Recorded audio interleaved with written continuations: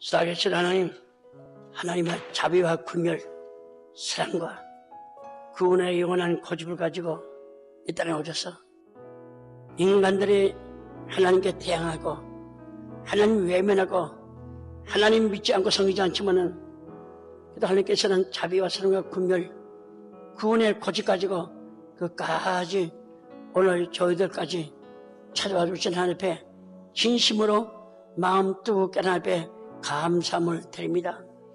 올라가지 우리가 알지 못하고 인간의 생각 고집을 다 하나님의 영원한 고집 앞에 무릎 꿇고 엎드려서 고백하면서 하나님 신뢰할 수 있는 하나님이 경외할 수 있는 하나님 믿는 놀라운 역사가 오늘부터 문학할 때까지 있게 하여 주시옵소서 가족마다 복되게 축복해 주시고 어둠이 틈타지 못하도록 성령의 불담으로 강하게 저희들과 가정과 식구와 사업과 우리 평안교회를 강하게 역사에서 지켜 보아야 주시옵소서.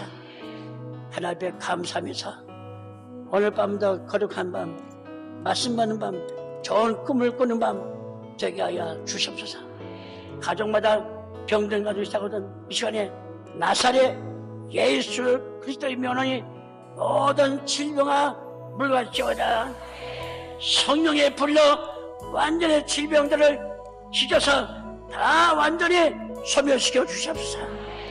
하나님의 은혜가 함께해서 우리의 모든 고집을 하나님 구원의 영원한 고집에 불복당하고 다 무릎 꿇고 머리 숙여 하나님 앞에 고백하는 신앙의 고백이 있게 하여 주시옵소서.